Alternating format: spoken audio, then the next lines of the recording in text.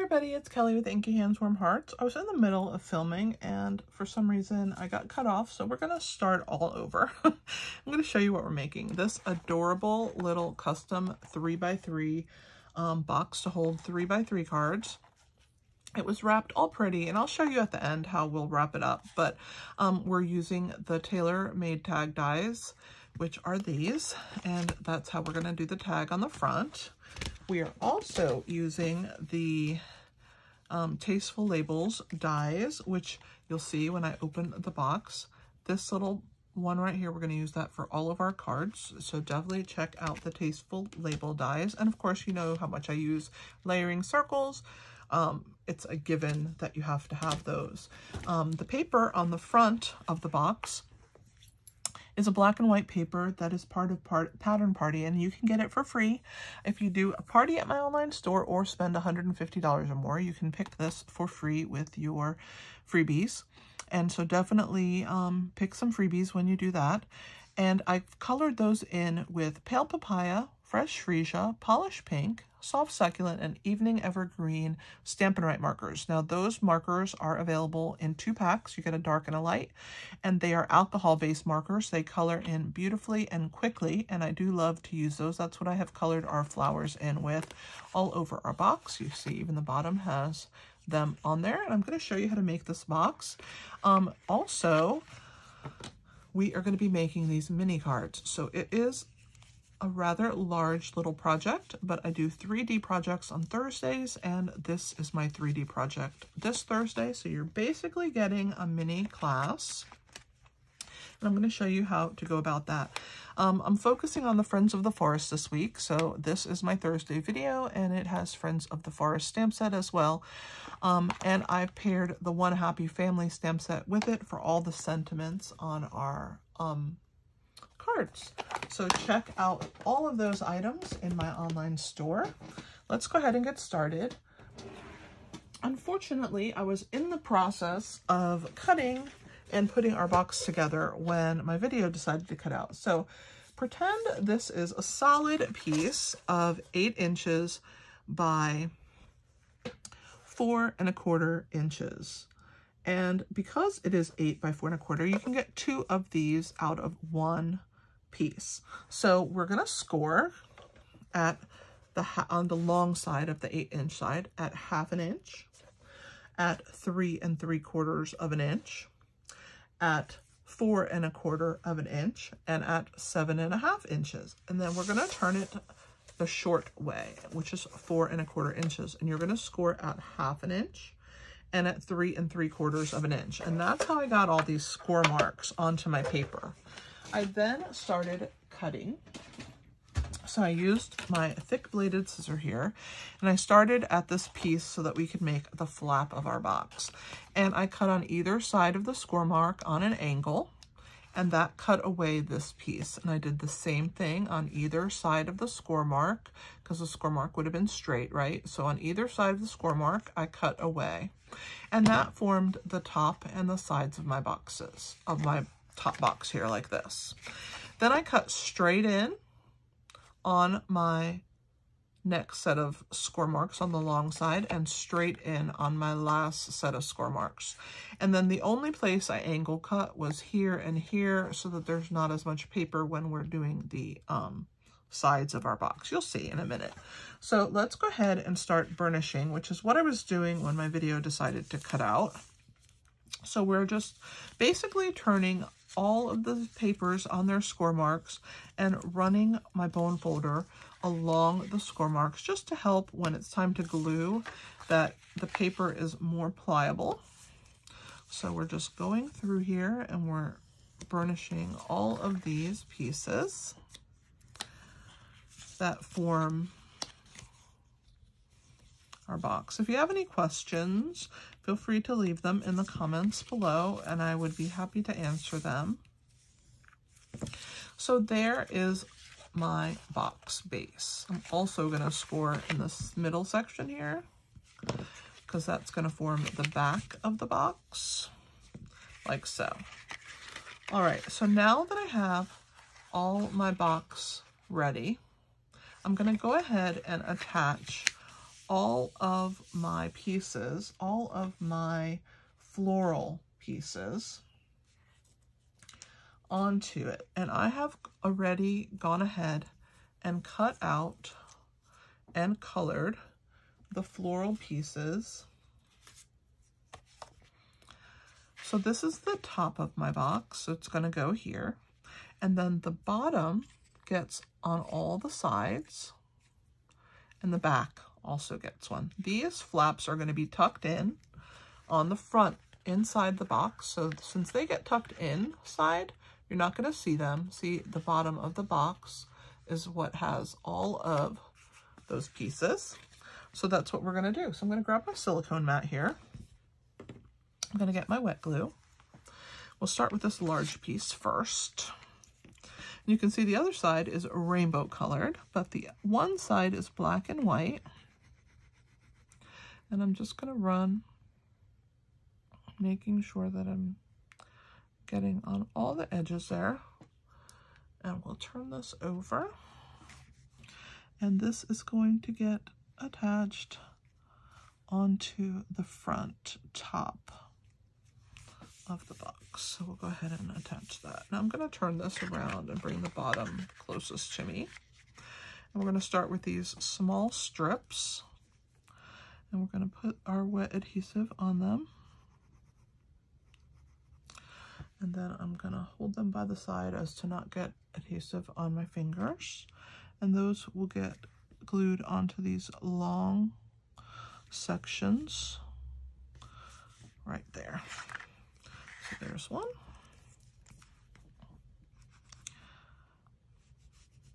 And I really like to use wet glue because it gives you a little bit of wiggle room. You can move it around a little bit when you set it down. So that's nice, of course, when you're trying to get your piece into place, right? That you have that room to slide it around a little and make sure that you have it where you want it. So there's that. And if you get a little bit of um, adhesive on there, you can use an adhesive remover. So let's go ahead and do our last two pieces and then we will glue our box together. So here is the third one, and it's gonna go here. On the side.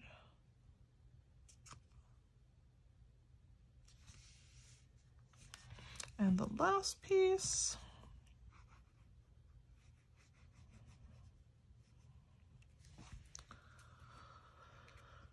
All right, put it in place.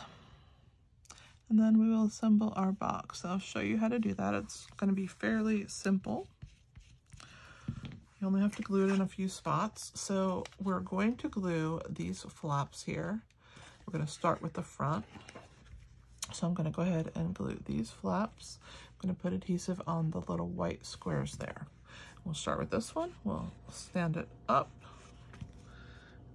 it on the on the table here and stand it straight so it's nice and straight. Of course, like I said, you have that little bit of wiggle room, so definitely use it and get it into place. We're gonna do the same thing here. Stand it straight up, give it its little bit of wiggle room. And if you have a little bit sticking up, you can come in with your scissor and trim that away. Sometimes, you know, when we cut, we don't cut exactly perfect. And so we will have a little bit of extra cardstock in the way there. So I just snip that away. And then we're gonna glue the back square pieces. So these also get the adhesive right here. So we're gonna do this one here and this one right here. And we're gonna put that one into place same way hold that in place while it forms its little square back.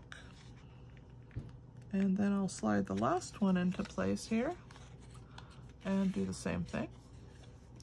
Form its little backing. I like to put it down so it's nice and flat. And then there is the base of our box. So now we have to fill this box, don't we? So let's go ahead and start with our cards. I'm gonna move this just out of camera temporarily. And all of our cards are made with the in colors. You can purchase all of these products in my online store. So we have a evening evergreen, a fresh freesia, a soft succulent. So we have pale papaya, polished pink, evening evergreen, fresh freesia, and soft succulent papers. And we're gonna go ahead, they've been scored down the middle, so I'm just gonna go ahead and burnish those. Make sure that they are scored nicely. And we'll meet the ends here.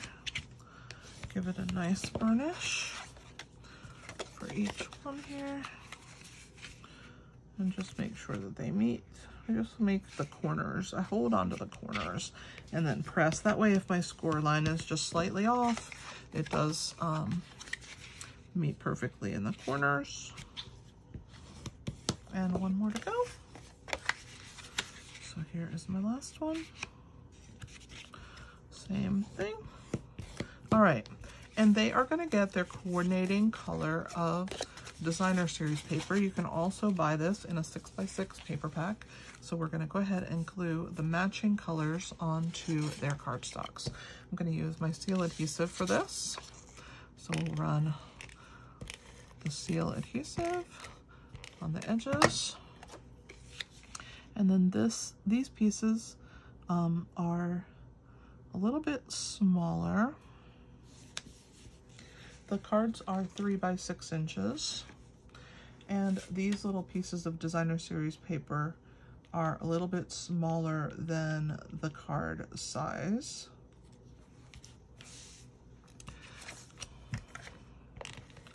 So that they fit and have a border all the way around. I use two and three quarter inch squares for these. And so this is the pale papaya on the pale papaya. And we'll move on to the next one, which is the evening evergreen. Put it on top.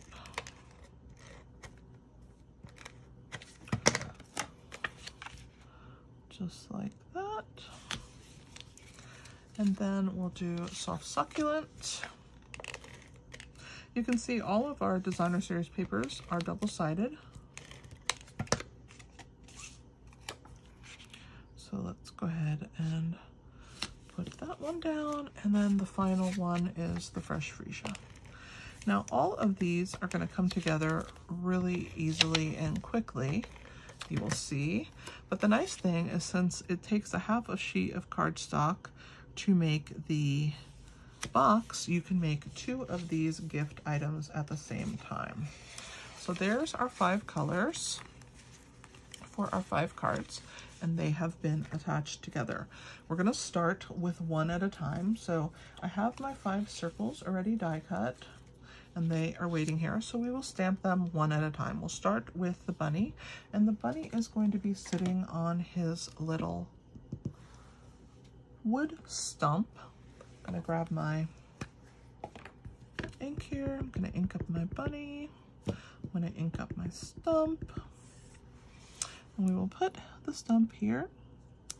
And then we will sit the bunny. And since these stamps are clear, you can see right through them and sit that bunny right on the stump.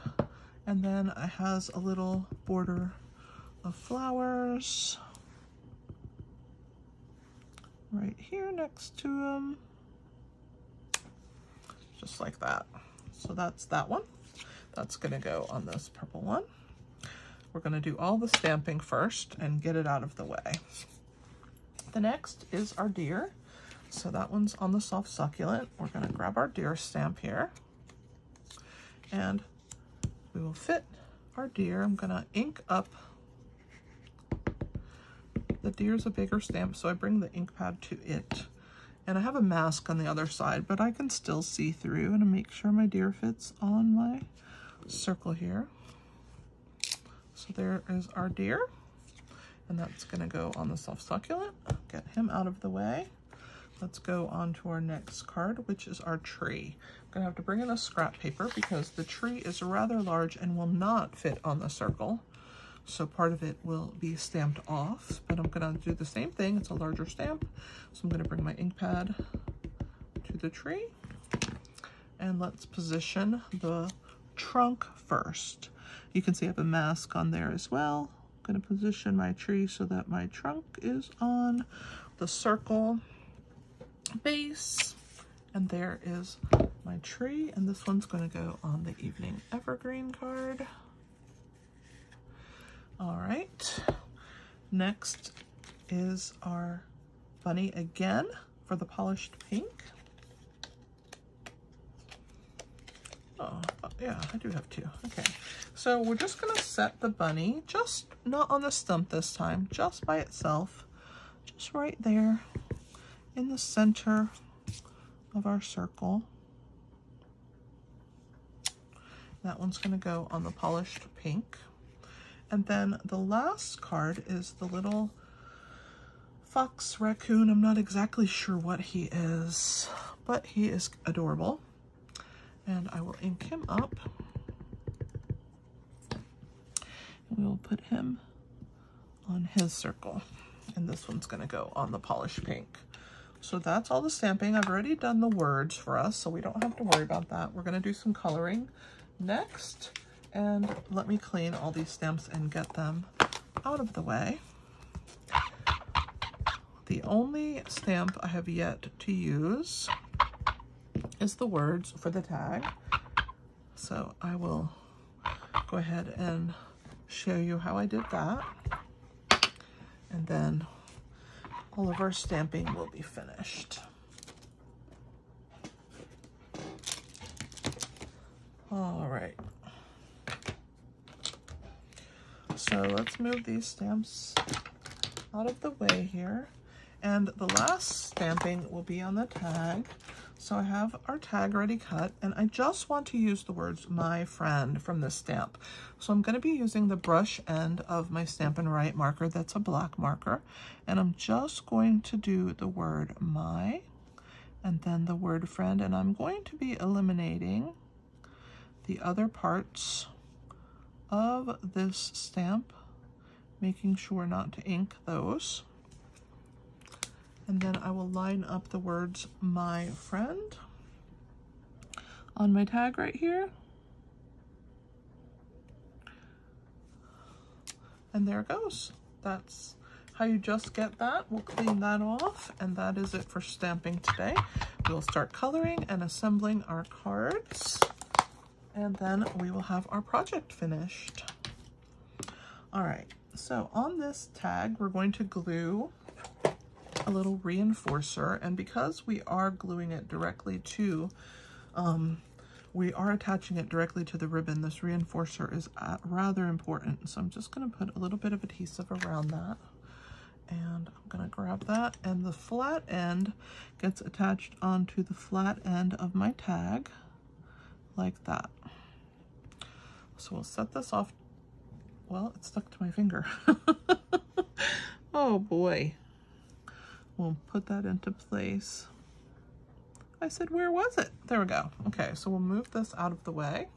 We don't need that until the end. All right, let's go ahead and color in our cute little woodland creatures. So the bunny is going to be made with the light polished pink. I'm just gonna go ahead and color the bunny in. And the colors do lighten as they dry. So we're going to go ahead and color this in. There's the bunny. Our fox is going to get two colors, the light and the dark, of this really pretty Calypso coral. So I'm going to color the main part of this little fox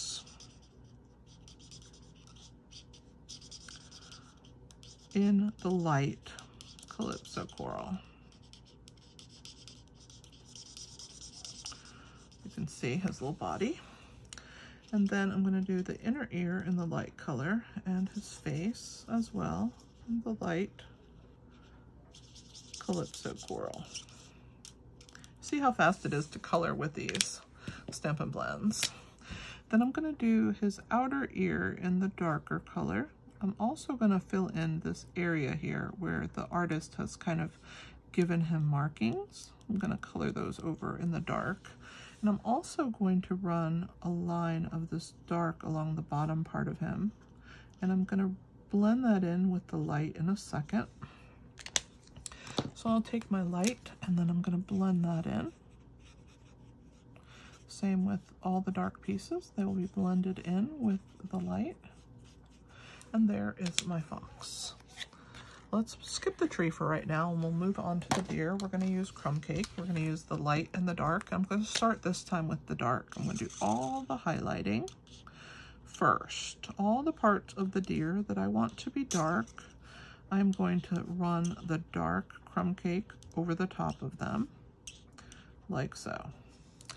Now I'm going to come in with the light crumb cake and I'm going to color in over the top even of that dark that I've laid down to help blend it into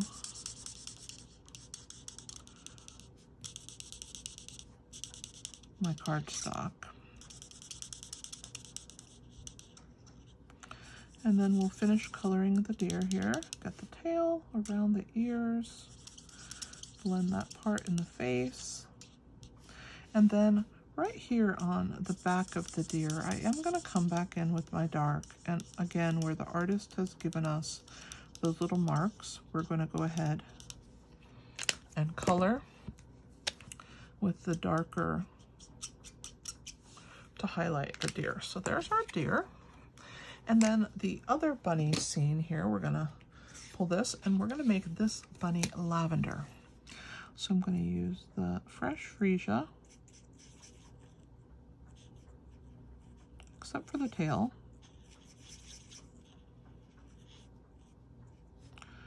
Do the bunny's ears.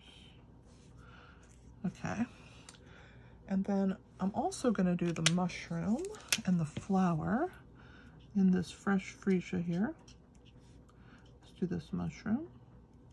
And the dots on this mushroom, but the rest of them are going to be pink. So we'll do the pink. Color in that and the dots this mushroom will be pink and the dots on this mushroom will be pink. I forgot to do the stem of this mushroom in the fresh freesia and then of course we'll do let's do the light soft suede here for the trunk.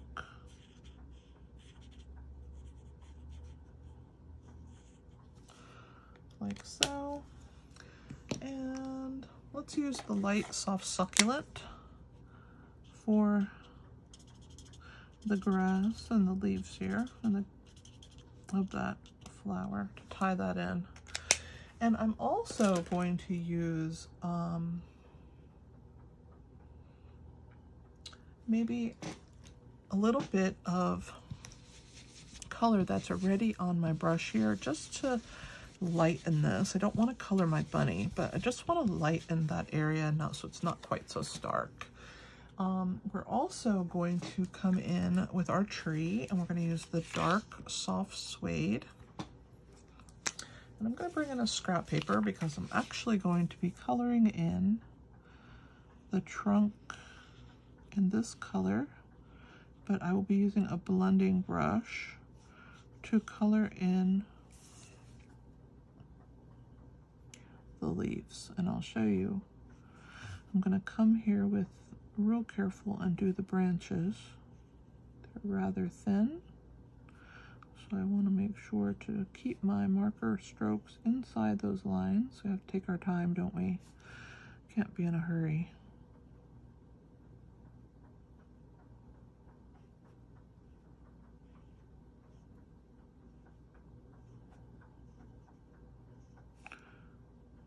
All right. Make sure I have all the spots of the trunk. I missed a tiny bit there. All right, so there's our tree trunk. And let me show you this really cool technique. So I'm gonna be using Granny Apple Green and one of the blending brushes here. I'm gonna pick up some color And just deposit the darkest down there. And then I'm just going to swirl over the top and color that tree. Isn't that so neat and very quick? So there is our tree. Let's start assembling our cards. And we are almost finished. We'll start with this one since it's right here. I'm going to use the wet adhesive. It will be a lot faster and it'll also give me some wiggle room when I am attaching these guys down onto my piece. I'm going to center it there. So there's one. I should grab my silicone mat in case I slip out. Let me grab that, put it in place. There's my fox. Here is my deer.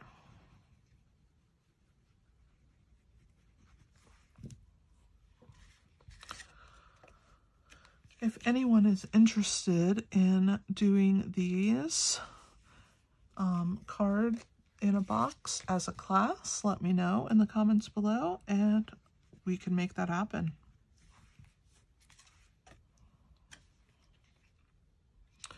All right, we'll attach our bunny. And our other bunny, I'm kind of partial to the bunny because we have a bunny in our house. My daughter has a bunny. His name is Jasper. Sometimes he's in here when I am recording and you guys can hear him moving around, but um, he's not in here today. He's a free roam bunny, so he roams all over the place. All right, so there's our five cards. Now we have to attach our sentiments. So let me grab those. They're already been stamped right here.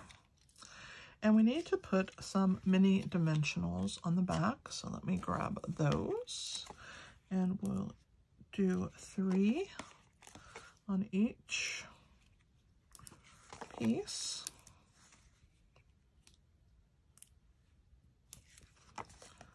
I love the minis. They work perfectly for things like this that just have a small area. Almost done. Put those There we go. All right, so let's get our dimensionals out of the way. And I like to use my take your pick tool when I pull the backs off, so I'm going to do it on all of them. And then I'll just pick up the appropriate color tag because they match their counterparts. So let me pull the, all the backs off. I like to use the, the pointy end of my take your pick tool to pull these backs off. That way they end up on my take your pick tool and not on my floor. I can swoop them right into the trash can easily. So here's our bunny. Grab our pink. This one says, I'm so proud of you. We'll put that across just like that. Here is our fresh freesia, and this one says celebrating you. So we'll put that one like that. Our deer is next. It says happy birthday.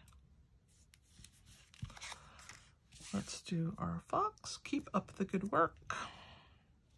These are great to put in a lunchbox. Just or a coworker, just stick them on their desk and give them a little bit of encouragement. I love your kind heart. That one is so precious to me. All right, so there are our cards. Let's pair them with our envelopes. So the envelopes are also sold in my online store so that you can grab those there. I'm going to toggle these kind of back and forth